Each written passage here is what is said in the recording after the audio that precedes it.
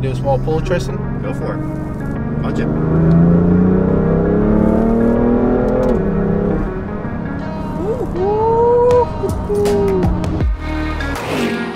So the car shopping process finally begins. As you guys may already know, I'm looking for a replacement for my BMW 335i since I'm giving it away. Originally, I wasn't planning to film, you know, me looking at cars and deciding which one I wanted to get. Thought that would be kind of boring for you guys to watch. I was just gonna do that all behind the scenes and eventually show you guys which modern BMW I decided to buy. And then I made a poll on Instagram and asked you guys if that is something you guys would like to see. Maybe like a mini series of me car shopping and looking at potential replacement cars. And 98% of you guys actually thought it was a great idea. So here we are today. I'm gonna film everything, take you guys along for the ride. The days are quickly trickling down. A little over 20 days to go and this car will no longer be mine and one lucky winner is gonna own this badass car. Like, I would be lying to you guys if I said I didn't feel uneasy in the stomach. This is a very nerve-wracking. You know, I, I don't even know how to explain it. It's, it's it's mixed feelings. It's like happiness for the winner, sad to see the car go, nervous for the actual giveaway and the drawing. Guys, if you haven't entered yet to win this 550 wheel horsepower 335i that's been fully modified, you guys are missing out. For every $5 you spend on vehiclevirals.com, you guys get automatic entries to enter for a chance to win this car. Do not miss out. I'll leave a link down in the description below, vehiclevirals.com. What up, son? Hello. Nice sweater though. Woo! VehicleVirals.com for a chance to win 335i, bro. Go cop that sweater. We are currently at Greenway Dodge. See if we can find the sales manager and show you guys the F80. Can't wait to try it out. Never driven a competition model M3. Looked really good on pictures. So uh, let's find out. So we have actually Tristan right here. He's actually showing us uh, the F80 M3. And we thought we were gonna walk a bit. Actually, can I take this off? We're outside, right? We're outside, right? Yeah. It's a 2018 F80 M3. Um, originally, this was probably the last car on my list to get as a replacement, just because so many people have it. But then recently, I've gotten a change of heart. Maybe I'll tell you guys a little bit about that um, in a future video. But now this is somewhere in the middle top range. Um, I would preferably like to get the LCI Model 2. I think LCI 2, which is 2018. This is the comp package, so it's more aggressive for the track use and stuff like that. Biggest thing, biggest difference with the comp, 20 inch wheels. wheels and then also lighting The lighting, yeah, the tail lights are different too. And then we briefly talked about the exhaust while we were in the car, right? Different exhaust in the yeah, back. got a different muffler You know, you know what's the color of that name? Uh, uh, the color of that interior, Ali? Sh- Yes. Shakir. yes Shakir. Is it Shakir orange? yes Yeah. well it's secure Shakir. secure Shakira? secure I think Of course, we got the S55. This would have to be one of the most reliable modern M engines out there, right, Ali? Along with the Uh, B58. Of course, B58 probably on top. Yeah S55 is pretty up there. Yeah. Competition model, I believe, has what 24 more horsepower than the stock one. Doesn't really make a difference, right? Because I'm gonna do an aftermarket custom tune anyways, and get the power. You know, assuming that I do get this car. The headlights have been updated for the 2018 as well. Uh, these rings, they, they were just like a regular circle before. It seemed like I think for the for the earlier 2014 to 2016, it's just a circle. This one has more of a don't know. squarish look Yeah, squarish, and then it kind of it flows in with the grills right here. Pretty Yeah. sweet. LED option. Black grills, of course. M M competition pack has the black grills. I think it even has the black. Uh, oh yeah, has the the black M3 right here as well. The black for the for the mirrors, the trims as well, so you don't have to wrap them. And then of course you got the carbon fiber top that's gonna lower the center of gravity. These wheels have to be an absolute nightmare to clean. yes I cleaned the, these wheels like last week You did? on another car You have to get like you know a Matt Mormon obsessed garage yeah tool. you gotta get the yeah. in here and then in here I've said it in the previous videos. I'm pretty much looking at sedan variants for replacement cars, mainly so it can be a hybrid between you know family use and competition and spirited drives. Uh, the E93 that I'm giving away, it just the two door doesn't work for me anymore, just because the car seat situation, the room situation for a family is just not there. Plus, I already have the E E46 M3, that stick shift two door. I mean, that's suffice if I want to go ahead and just kind of beat on the car and have fun with it. Uh, this one would be a hybrid, which is why I'm looking at you know four door variants. So the most important aspect of this car would be that it has Back door. back doors. You know what would be super annoying? Watch this. So if you sit right here, all right, cool, right? You're right. This would be pretty fun. Hello. Hey, can you go slower, sir? What did they cut those seats out just to save a little bit of weight? Like, how much weight did he really save by doing that? Uh, practicality. Is this open here? Plenty of room for groceries, don't you think? Yeah, for all the merch. Oh yeah, for all that, mer- guys, you guys have been absolutely killing it with merchandise. You know, E E46M3 vehiclevirals.com. But anyways, um, plenty of room. I- I'm sure you're gonna get no no spare tire, of course. Modern BMWs don't come with spare tires. What is that? This is gonna add some value because it's still plastic wrapped. this is a collectible, baby. You know, like a Charizard card from Pokemon, right here. Not even close. No. like that. See that aggression? On the M4, you can't quite see how big the arches are I because I don't like M4s. you don't like M4s. Well, what a coincidence, because neither do I. Right on the two-door variant, it's more of a like a Sharper edge. no, no, no. This one oh, is Or a like sharper edge. This one is more a smooth transition versus the four-door. It just goes. just like a Dominican's thigh, you know. Let me stop. Anyway, so that's what happens right here. Is that the options? I think so. Oh, that's convenient. For the 2018 model, didn't they update the infotainment display as well? Yeah. It did update the infotainment display. Sadly, the one thing I don't like about this car already, and I can tell you because I read up on it, it doesn't have Android Auto. Only Apple CarPlay. Yeah, I know. Everybody else has iPhone but me. So you got carbon fiber trim pretty much throughout. Carbon. Hear that? Harman Kardon sound system, which I've heard really good things about. I, I know some of the newer models they've, they've updated with a touchscreen. I'm not sure if this one is touchscreen at all. The iDrive is nicer. There's actually one thing that I realized. Those illuminate, don't they? Yeah. Oh. And those don't fade. They had like a Ceramic coating? I don't know what it was, but those would like break and like fade and stuff like that, and they had to replace them. But on the older generation Really? F80s, that Should we take it for a drive? just. Oh, I failed. yeah. You have to slam slam it a little bit harder. Yeah, but I always I'm always super careful with cars that are not mine. So. All right, all right, all right. I got you. I got you. I got you. Hey! Before we go on a drive, I gotta say these guys at Greenway Dodge is it Greenway Dodge? I think so. Anyways, they've been super super nice. I mean, I was here for maybe five minutes, talked to them. They were super cool. Tristan went out and showed me the car. Customer service here is crazy, which kind of explains why it's so busy in the lobby there. They get tons of business. This is the guy you guys want to see if you do come out here to buy a car. Uh, what is they, they sell pretty much everything here. It looks like. Look at Alfa Romeo, baby. Nissan, Ram, Chrysler, and Uh, Jeep, uh, Chrysler, Jeep, Dodge, and Ram. yeah. So there you go. If you need a pickup truck, because you know you got to haul those parts for your cars, this is the place to go to if you guys are in the Central Florida area for sure. What's your favorite generation of BMWs, Ali? E36. Ether. Oh, yeah, you're still stuck in the past.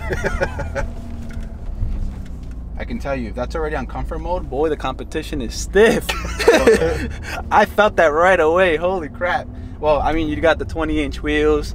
I'm sure the ride height is much lower. The damping settings are probably stiff as hell. It's, it's on sport mode, so it was a little bit harsher than it was supposed to be, but holy.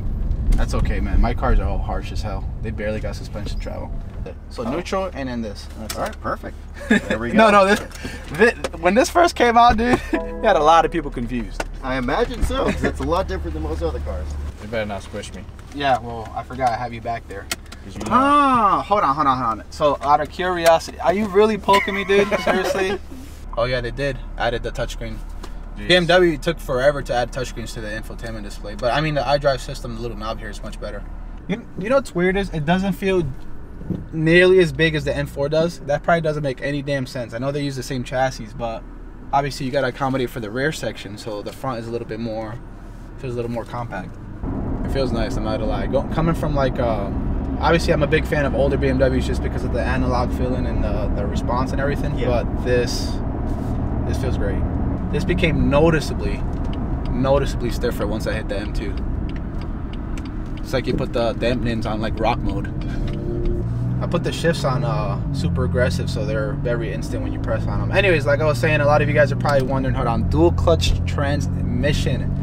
You should be test driving a manual version, Cristian. What are you doing? I know a lot of you guys are enthusiasts that watch my channel, but for this type of car, I'm not looking for a six-speed manual. I know that makes Ali a little bit sad, He's telling me to get a six-speed manual in these cars. Because you know what? They're not that hard to find and they go for around the same prices. Unlike the F10 M5 where they're super hard to find and people tax big time on them. This is going to be a family car. Like if there's a day that I want to drive the car and I don't want to do anything, I don't want to shift, I just want to just kind of chill and have one hand of the wheel, and that's what I want to do. So this is a hybrid car.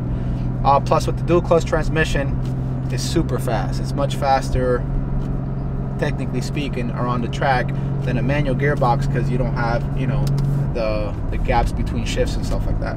There is one thing Ali did tell me. What were you telling me about the power? It's limited compared to the manual. Yeah, the torque. Torque is limited to 650 torque if you were to go that high. After that, the clutch pack starts slipping. And you said if you wanted to upgrade the clutch packs, it would be super expensive on these cars. Yeah, and it's time consuming when you could just do a clutch on a manual car and not worry about it. And hold all that power. Yep. Yeah, you guys have an F80 at the shop that has how much torque? 730. That's insane. Why would I? Why would anybody even need 730 torque? Don't ask me that question. Okay, okay, okay, fine. But for me, I don't need 730 torque, dude, to, to light up the wheels all day. And if you do You know, manage to get, you know I'm used to that car. no, I know because you've been working on it your entire life. It seems like. That car is what made me spoiled to 600 horsepower. Now I feel like 600 horsepower is slow. You hear that? That's the exhaust. I wanted you guys to hear what that sounded like. You know what? The S55 is not known for producing the best sound. At least the stock one. The competition one doesn't sound too bad, but yet again, we are in the cabin where you know BMW likes to pump in their fake noise.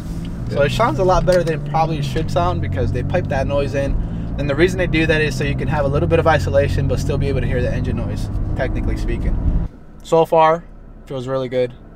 Feels really comfortable. I mean, I, I'm not gonna ask you for your opinion, dude. You've been in like in a million of these, right? So it, it makes zero sense for me to be like, "Hey, Ali, how do you like the car?" Oh, It's just yeah, another totally. F80 M3. Totally, it's stock. Great.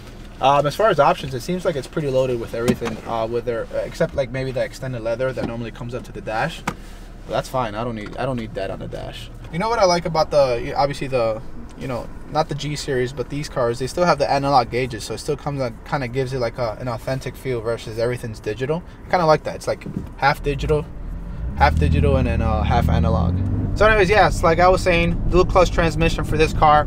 I have the E46 that is stick. I have the E30 that's going to be a drift kit, uh, drift car that's stick. And there's actually another surprise car that I'm looking to get that's also going to be stick. So I don't need another stick shift car, which is why this would be perfect. I do a small pull, Tristan. Go for it. Punch it.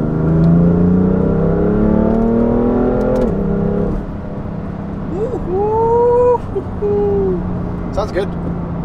Sounds good. It's hard to get excited because I drive a super fast car. But I got excited because I can already envision how fast I can make it. Plus the dual clutch transmission just makes it so much of a pleasure to drive too. How did I feel, Ali? Ali's feeling. so the last Thumbnail. It's okay. So it's uh, you know obviously I was kind of scripting in my head that I was gonna get super excited when I punched it, but I drive a car that has 550 wheel horsepower. This was me the whole time. the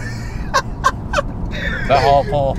Part of the reason I wanted to get a modern M car um, is is for business purposes with companies for performance parts and stuff like that. And obviously this is a platform that is very popular. It's a 3 Series M3, very desirable. And then since the new one is coming out, you know the prices on these are going to plummet just a bit. So it's going to give uh, the opportunity for other people to afford it as well. So it's more of a business thing, a little bit of happiness, but I don't know. It's a tough decision. We'll see what happens when I uh, when I test drive the other the other two cars, and I'll let my heart speak.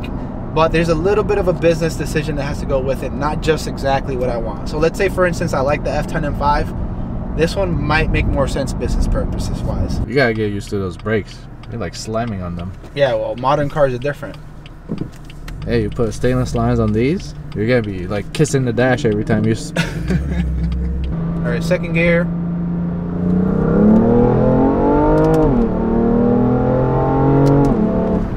All right, see, I'm not a lie there. That one actually, I felt a little bit of something. I actually felt a little bit of something, a little bit of air right here, a little bit of happiness, a little bit of happiness, just a little bit. You know what I mean? It felt good. Even with traction control on, it was still slipping. I can still feel like the rear wheels slipping just a bit. There's one thing that I haven't noted, and that is that we have three grown ass adults in the car. I didn't feel nothing. It felt great. Tristan, it felt great. Oh, that, that I felt that. Yeah. Exactly. Two to one, baby. You lose. I'll put it back on auto mode. And see, that is the beauty, the absolute beauty of having the DCT is that I can put it onto auto and I don't have to worry about shifting no more. That's it. I'm chilling with my wife, chilling with the kid in the back. They're handing me something. I don't have to worry about shifting. I'm good. Shit, instead of your damn phone. Oh, that's wifey probably, isn't it? Dude, that's my realtor. And Your I got the house. Oh, you did? Yes, Oh, congratulations, dude. Oh, look at that. exactly. Congratulations. Well, last time you said you got the house, you didn't get the house. No, this is this is it. So you got the house. Yes. Let's see that reaction. You got the house. Congrats, dude. See, I got more reaction out of this than this F80. Don't listen to me. I drive these cars every day. Yeah, of course. It's really hard. You got to listen to me. I don't drive these cars every day. And I just noticed there's a very nice, squeaky clean looking cop right next to us, too. Hello. How you doing? Okay, so part of the reason, if you guys watched the video on BMW Invasion, there was like 95% F80s there, which is weird enough if we cut to that clip. I think the most common car that I'm seeing here at the car show is the F80 M3, which makes me not want to get one anymore. It was between the F80 M3 and the F10 M5, but there's so many F80s M3s and not a single F10 M5. I don't know, it might sway me a little bit. M3s, F80, F82s, that's like the majority of the cars that you're seeing here. Look, M4, M3, Ah, we got an E46, but look, another M3, an M4, an M3, F80. Um, I said that I would not get an F80 M3 just because they're so popular, which is why I was looking at a F80. Uh, I mean, an F10, M5, um, maybe even a Supra, an M2 competition or something like that. But then I started crunching numbers and I started looking to, to, to see what's uh what's the better business decision. And then I started slowly to drift back to the F80 M3 just because it just makes sense. See, if there's more of them on the road, then that means that there's more opportunity for me to get more views on videos, more product sales, more clout. And that's just what it is. Obviously, to, to be truly happy, I would probably choose the F10 M5, which I can still probably choose it. I'm not sure. I'm going to go drive one again. Um, the idea is to drive all of them back to back and see how I feel and then make a decision. But we'll see how that's going to go. Can you imagine getting this car and then a year later just flipping it for the G80? so Tristan was asking me here, how do I feel about the M3? I gotta be super honest, I'm not like super blown away with like the driving dynamics. Obviously it's a modern car, I gotta get used to that. A lot of technology into it, so it's gonna be super fast. Definitely gotta add some power to this to really feel the life of it, but so far, feels good. Obviously I wanted to respect Tristan and his dealer here, and for that reason I didn't wanna just dog the car out. But uh, I think I got enough to to feel what it's gonna be like to own one. It is a you know mid fifty thousand dollar car, so it's pretty hefty on price, but uh, that's okay. I think I deserve that. It's always a little bit weird to like you know talk freely when there's a random person with us. Yeah, cool guy by the way. It's just it's very strange to talk into a camera lens. It's not the same. It's just not the same. It's hard to be yourself because somebody's listening to you and watching you. And obviously, I couldn't push the car how I wanted to push the car. So, you know, make sure you head over to vehiclevirals.com to enter the giveaway. Appreciate you guys watching. I'll see you guys in the next vlog when I go ahead and check out the next modern car that might be replacing this car.